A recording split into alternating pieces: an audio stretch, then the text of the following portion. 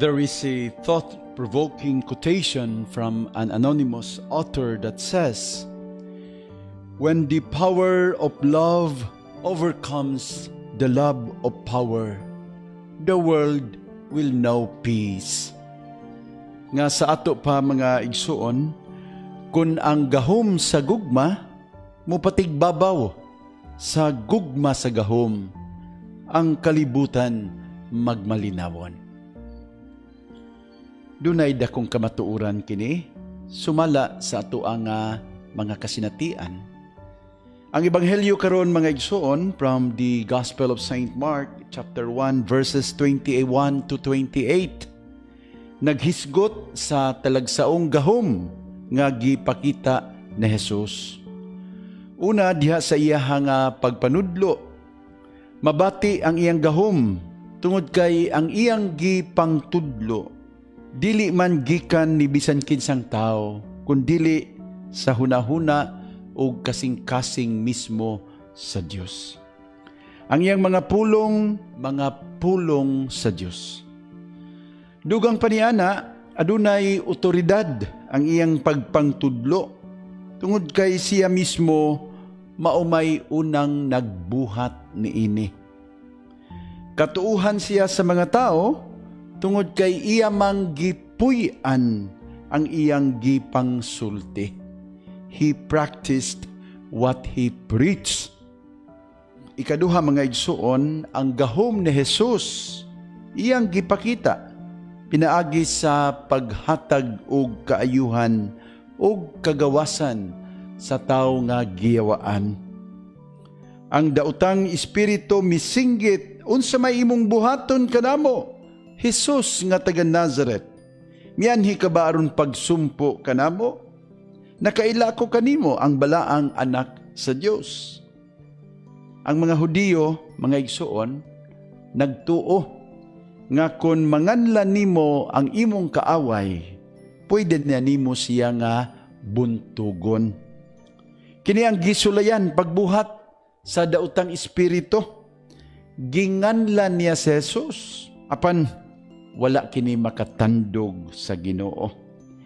Hinoon, iyang gipahilom ang yawa o gipapahawa. Ang paghingalan sa yawa, wala na niya kinahanglana gihinginlan hinuon niya ang yawa ug kini mipatuo kaniya. Ug ang tanan nga nakasaksi ni ini matud pa sa ebanghelyo nahingang pag-ayo ug nakapangutana, What is this? Unsa kini? A new teaching with authority? Mga igsoon diha kang Hesus atong makita ang saktong paggamit sa gahom. Ang tanang gahom nagagikan sa Dios. Ug kung gihatagan man kita niini, ato kining gamiton sa pagpanudlo og mga tao ug sa paghatag og kaayuhan sa uban. Importante kini kaayo nga pahinumdom. Ngano tungod kay daghan kanato ang dili maantigo mo gamit og gahom. Adunay mga tao nga kung makahupot na og gahom, mausab na dayon. Ilabi na diha sa ilang tinagdan o sa ilang binuhatan. Some would use power to serve their own interest. Others would use power to dominate people. And some others would even use power to destroy another person. Adunay nag-ingon, power does not corrupt people. Actually, it's people who corrupt power. Aduna ni kamatuuran. Ato mang mabantayan nga kung gamiton lang gyud sa maayo ang gahom, makatabang kini og daghang mga tao. Actually, we can serve people better if we have the power, if we have the influence. Apan mga igsuon ang problema kung ang tao mag-abuso tungod sa iyang gahom. Kung kini ang mahitabo, daghan ang masakitan, daghan ang madaot, Unya, magubot o mag-away ang daghan diya sa katilingban. Those who have true power would share it like Jesus in the Gospels. We come to know him as someone who had power and who shared his power to his disciples. But those who hunger for power usually abuse it like many of our politicians today. Pwede lang sa mga maayo ha. Daghan sa mga politiko kung makalingkod na sa pwesto, magpahimulos sa ilang gahom. Again, I'm not saying all. But there are plenty. No, daghan.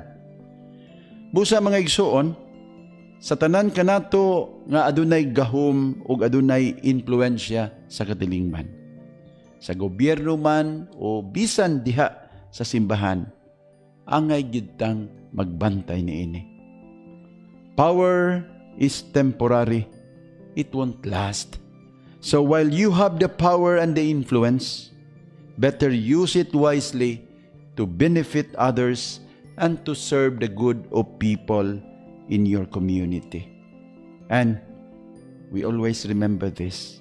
When the power of love overcomes the love of power, the world will know peace. But when the love of power dominates, there will always be chaos in the world and a lot of people will suffer.